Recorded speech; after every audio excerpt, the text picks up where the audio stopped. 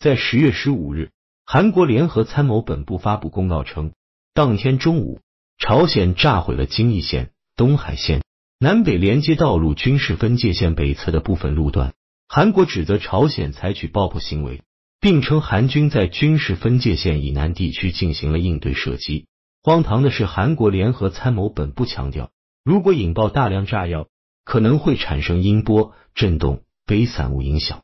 如果造成韩方损失，将采取相应措施。这种威胁有点狼和小羊的感觉，你没炸到我也不行。爆炸飞散物如果落到韩方哨所造成损失，韩方也会采取报复行动。按照这个标准，以色列坦克炮轰联合国驻黎巴嫩营地，造成人员受伤；投掷航空炸弹到中国驻黎巴嫩营地，造成营区损失。如果遭到武力报复，也是顺理成章。值得一提的是，韩国联合参谋本部强调，爆炸没有造成韩军损失。既然爆炸没有造成韩军损失，那你下令开枪干什么？除了制造紧张局势之外，开枪有什么意义吗？典型的脱裤子放屁。多此一举。一是朝鲜半岛问题，在美国，朝鲜炸毁的京义线与东海线是分别在韩半岛的西部与东部连接南北的道路。京义线是始发首尔站。经高阳、坡州连接朝鲜开城、平壤、新义州，全长四百九十九公里的铁路，于一九零六年由日本开通。东海线于一九三七年开通，是连接襄阳至元山区间，全长一百八十公里的铁路。曾经因为南北分裂而断开的京义线与东海线铁路以及陆地公路的重新连接，被视为南北和解与合作的象征。朝鲜选择炸毁南北连接的道路，实际上是物理上断绝了南北关系。十月七日到八日，朝鲜最高人民会议举行为期两天的会议，进行修宪。十月十七日，朝鲜官方媒体证实，朝鲜通过修宪，明确已将韩国定义为敌对国家。在朝鲜半岛问题上，中国一直希望美国能够与朝鲜签署和平协议。而不是今天的停战协定。中国希望朝鲜半岛实现和平，有利于东北亚各国共同发展经济。但是美国绝不允许朝鲜半岛和平，更不可能允许南北统一，因为美国通过不断制造朝鲜半岛紧张局势，可以绑架韩国和日本，从而破坏中国推动中日韩经济合作的努力，相当于掣肘了中国的和平发展。这就是美国的战略。二是朝鲜无意南征。二零零八年开始，朝韩关系转冷。二零一八年文在寅执政时一度恢复接触，但二零二零年开始两国关系持续恶化，回落至冰点。自一九五三年以来，朝韩在技术上而言仍然处于战争状态，因为朝鲜战争是以休战而不是以和平条约的方式结束。二零二三年十二月，朝鲜正式宣布放弃统一。称南北关系不再是同族的关系，而是处于敌对或交战的两个国家之间的外交关系。从法理上讲，一直没有结束的朝鲜战争已经不再是内战性质，而是国与国的战争。这就是朝鲜的转变。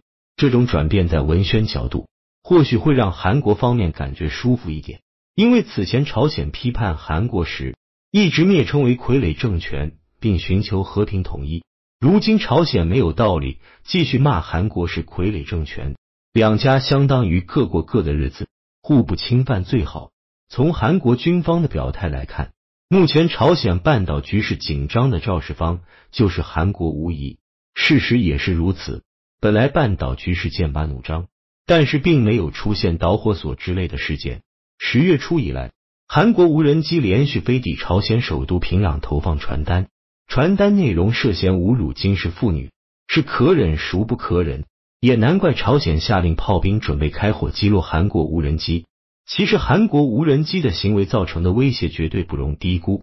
首先，韩国无人机飞抵平壤上空，是对朝鲜防空系统的试探，试探的结果就是朝鲜防空系统防不住韩国无人机。其次，如果韩国派遣一定数量的无人机携带炸弹，足以重创平壤。对金氏满门构成严重威胁。第三是韩国连续三次使用无人机挑衅，已经到了正常容忍程度的极限。俗话说可一可二不可三，连续被敌人挑衅羞辱三次，如果继续忍气吞声，那就是苟且了。第四是基于上述因素，朝鲜反应激烈，并不令人感到奇怪。韩国表现的似乎无辜，实在非常无耻。朝鲜炸毁道路之后，中国互联网很多人都在讨论朝鲜会不会主动开炮，挑起半岛冲突。其实从炸路这一个细节可以判断出，朝鲜方面依然是防御姿态。楚汉相争时，刘邦明修栈道，暗度陈仓，攻击方都是先修桥铺路，哪有炸路炸桥的？二零二四年八月六日，乌克兰北约联军进攻俄罗斯库尔斯克，一周时间占领了一千三百平方公里的土地。在很多人以为乌克兰会趁虚而入，继续向库尔斯克市进军的时候，乌克兰主动炸毁了库尔斯克南部塞姆河上的三座桥梁。从这一个战术动作就可以判断出，乌克兰方面无心继续进攻，而是通过炸桥来巩固防线。同样的情节发生在朝鲜半岛，道理也差不多。三是朝鲜绝非善茬。一九五零年六月二十五日，朝鲜战争爆发后，韩国不断败退，美国冒用联合国的名义，牵头组织了所谓的联合国军，干涉朝鲜内战。联合国军总司令是美国远东军司令麦克阿瑟，如果再加上东道主韩国，共有十七个国家组成了作战部队。悲催的是，美国原本以为在朝鲜半岛是牛刀杀鸡，可以帮韩国轻松统一半岛，但是却被中国人民志愿军爆锤，一路退回到三八线，从此南北对峙。美国无奈签署了停战协议。如今，除了此前所谓的联合国军之外，现在又增加了三个国家，也就是二战战败国日本、德国、意大利在朝鲜半岛驻军。必须指出，美国彻底背叛了第二次世界大战之后的国际秩序。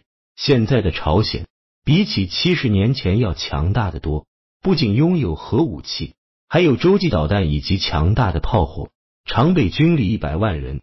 最近几天局势紧张后。朝鲜又有一百四十万青年参军入伍，准备战斗。这样的国家绝不是几万美军就能轻松对付的了的。半岛局势持续紧张，韩国尹锡悦奴才政府是罪魁祸首，执迷于依靠美国、日本威胁朝鲜，实在是蠢不可言。如果朝鲜半岛爆发战争，朝鲜面对美日韩等国联军，或许会处于下风，但是韩国首尔都市圈将被朝鲜的炮火夷为平地。三十八度军事分界线以南的韩国南北长约四百五十公里，东西最宽处约三百二十公里，最窄处二百二十公里。